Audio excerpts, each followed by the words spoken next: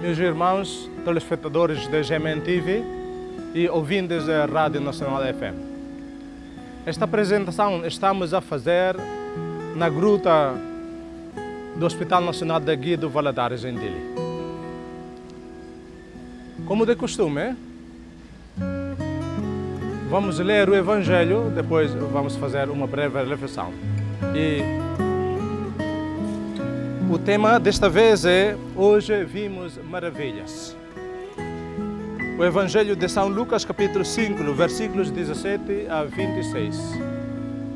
Certo dia, enquanto Jesus ensinava, estava entre a assistência fariseus e doutores da lei que tinham vindo de todas as povoações da Galileia, da Judeia e de Jerusalém. E ele tinha o poder do Senhor para operar curas. Apareceram então uns homens trazendo num catre um paralítico. Tentavam levá-lo para dentro e colocá-lo diante de Jesus. Como não encontraram modo de o introduzir, por causa da multidão, subiram ao terraço e, através das telhas, desceram-no com catre, deixando no meio da assistência diante de Jesus. Ao ver a fé daquela gente, Jesus disse: Homem, os teus pecados estão perdoados. Os escribas e fariseus começaram a pensar: Quem é este que profere blasfêmias? Não é só Deus que pode perdoar os pecados, mas Jesus, que lia nos seus pensamentos, tomou a palavra e disse-lhes: Que estáis a pensar nos vossos corações? que é mais fácil dizer os teus pecados estão perdoados ou levanta-te e anda.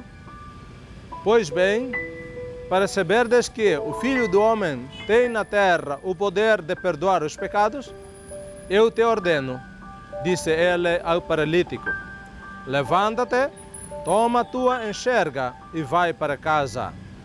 Logo ele se levantou à vista de todos, tomou a enxerga em que estivera deitado e foi para casa, dando glória a Deus. Ficaram todos muito admirados e davam glória a Deus. E cheios de temor diziam: Hoje vimos maravilhas. Meus irmãos telespectadores e ouvintes, estamos a ouvir o Evangelho sobre a cura de um paralítico. A cura de um paralítico. No tempo de Jesus, ou no tempo dos, profetas, é uma coisa rara acontecia. Por isso, se um doente grave e um homem que este doente tem fé nele, se ia curar, quer dizer, um milagre. Meus irmãos, o que estamos a ouvir nesta passagem evangélica, primeiro, é uma pessoa doente. O autor importante é a pessoa doente. Mas a pessoa doente não pode fazer alguma coisa para si próprio, porque quer ou não, ele não pode andar, nem se pode mover. Quer ou não, aí está um grupo que tem interesse de o ajudar, de o levar até encontrar Jesus Cristo. Meus irmãos, o Evangelho nos conta de que algumas pessoas o, levaram até o lugar, o lugar onde estava Jesus Cristo, mas coitadinho, quando eles chegaram lá, o lugar estava bem cheio de gente. Eles não conseguiram entrar para encontrar com Jesus Cristo, mesmo esta pessoa doente, esta pessoa paralítica, precisa muito da cura de Jesus, mas ele não pode entrar porque cheia de gente. Então, essas pessoas que o ajudaram, eles tentavam a maneira de o ajudar. e fazer o, eles fizeram entrar no terraço. Meus irmãos, através desta atitude, nós podemos dizer que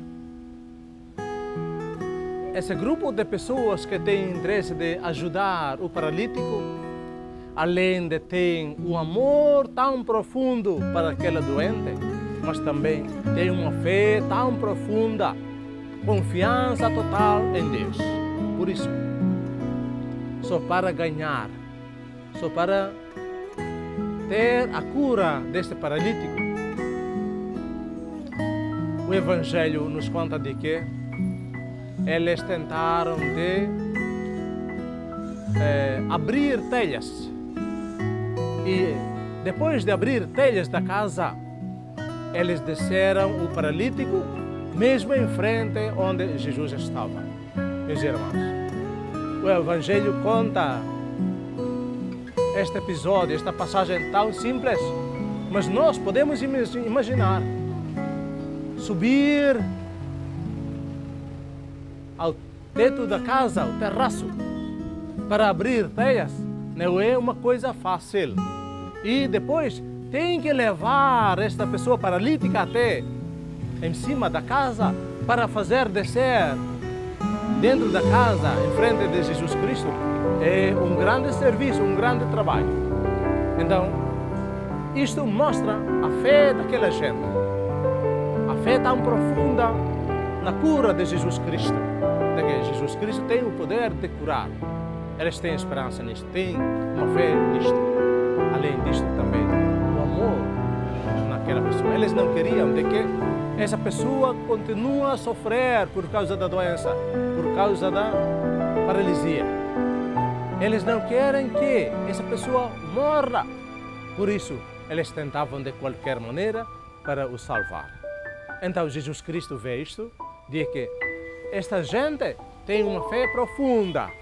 Por isso, Jesus disse, quando eles desceram o paralítico em frente de Jesus Cristo, Jesus disse, Homem, a tua fé te salvou, os teus pecados estão perdoados.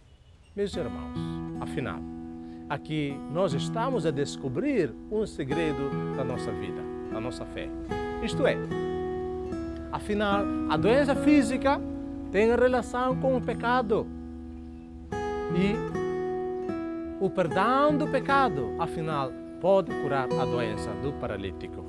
Isto é um segredo que estamos a descobrir neste advento de 2019, a fim de é, termos mais coragem de que certas doenças vêm ou têm origem no pecado.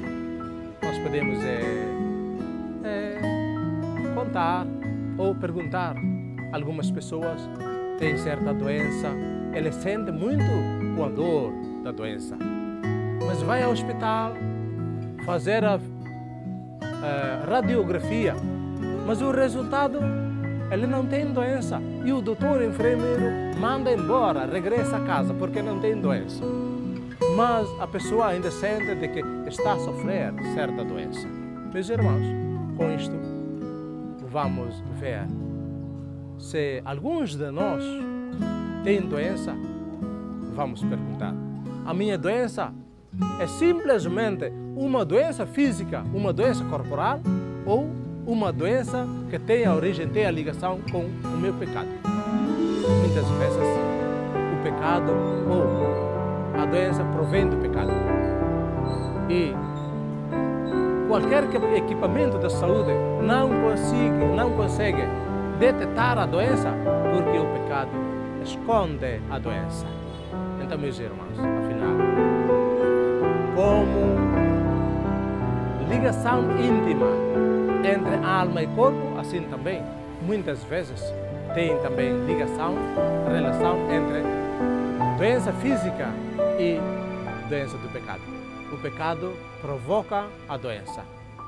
Por isso, quando Jesus cura a doença, perdoa o pecado. Ou, pelo contrário, quando Jesus perdoa o pecado e acaba a doença. Meus irmãos, o tempo de advento é o tempo de confessar o tempo de pedir perdão, o tempo de pedir cura à nossa doença e ao nosso pecado. Meus irmãos, a nossa fé é uma coisa abstrata, mas a nossa fé pode dar um certo caminho, um certo rumo para encontrar com Deus o Salvador, o Doutor Supremo, Doutor de Deus. Meus irmãos, como acabamos de ouvir no Evangelho de que os fariseus e os escribas murmuravam naquela altura, quando Jesus dizia ao paralítico: Homem, os teus pecados estão perdoados. Naquela altura, os fariseus e escribas questionavam o assunto. Eles não acreditavam que Jesus Cristo é Filho de Deus. Por isso, eles murmuravam. Quem é esse homem que profere blasfêmias? Porque só Deus é que tem o poder de perdoar. Este homem não é Deus. E como é possível? Ele tem o poder de dizer de que os teus pecados estão perdoados. Meus irmãos, a nossa fé em Jesus Cristo como Filho de Deus.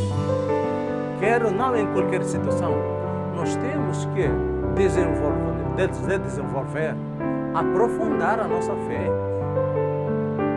E principalmente nos tempos difíceis da vida. Nos tempos em que sofremos por causa da doença, por causa de outro problema, outros problemas deste mundo. E como esta pessoa paralítica que sofria muito e os seus, os seus eh, amigos, suas, os seus familiares o trouxeram para o trouxeram para Jesus Cristo. Quando encontraram, quando encontraram com Jesus Cristo e Jesus Cristo viu essa gente tiveram uma fé tão profunda, por isso Jesus Cristo não queria alastrar mais o tempo de o curar. E com uma palavra tão simples disse: Homem, os teus, os teus pecados estão perdoados. E como os fariseus e escribas murmuraram, então disse Jesus: Olha, vocês não acreditam em mim de que eu tenho o poder de perdoar os pecados. Porque é tão fácil de dizer que os teus pecados estão perdoados, porque ninguém sabe. Se os pecados estão perdoados ou ainda existem, ninguém sabe, porque é uma coisa abstrata. Mas Jesus disse: Eu queria mostrar-vos para vocês terem fé em mim, para acreditar que sou filho de Deus. Eu tenho o poder de Deus de perdoar este paralítico, então eu te ordeno. E Jesus disse ao homem paralítico: Levanta, pega na tua enxerga e regressa, volta para a tua casa. E no mesmo instante, milagre aconteceu. Como se fosse a palavra de Jesus Cristo livre o homem de uma corda diabólica, de uma corda do diabo e ele como se fosse foi atado no pecado e esta doença é doença do pecado. Por isso, quando Jesus Cristo disse que levanta, pega na tua enxerga e vai para a tua casa. E naquela altura, o homem sentiu de que teve força, levantou mesmo, porque Jesus disse que levanta. Pega na tua enxerga e ele fez isto mesmo e regressa, regressou para a sua casa como homem novo. O homem que hoje veio não conseguiu andar com as suas, os seus próprios pés. Pelo contrário, algumas pessoas que o trouxeram. Mas no regresso, essas pessoas não o levaram. Pelo contrário, ele anda sozinho. Ele tem uma força, tem força nos pés, ele, ele pode andar. Meus irmãos, o tempo de advento é um tempo de nos aprofundar a nossa fé. A nossa fé nos salva. E assim também, quando temos a fé, não temos medo. Deus nos perdoa. O perdão do pecado é uma cura espiritual, é uma cura da alma.